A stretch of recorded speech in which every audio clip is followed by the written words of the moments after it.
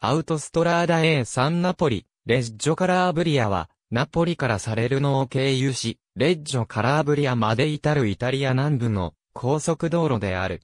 カンパニア、バジリカータ、及びカラーブリアの3つの州を貫く。全体の道路は、大体標準以下の高速道路である。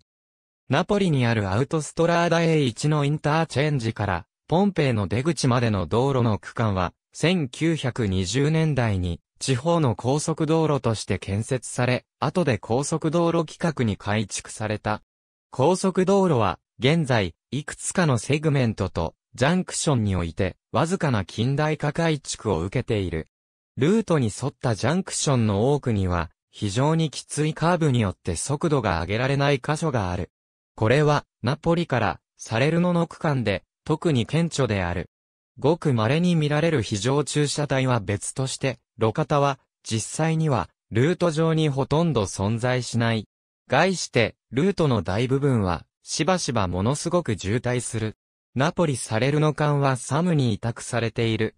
南の区間は無料であり、行動のための国家機関であるワナスによって維持されている。山岳地帯に位置しており、他のイタリアの高速道路と比べて、交通量の多さと、その維持水準の低さで有名である。アナスはこの区間をここ30年間で徐々にアップグレードさせている。レッジョカラーブリア A3 の終点と SS106 に接続する RAA04 の支点。ありがとうございます。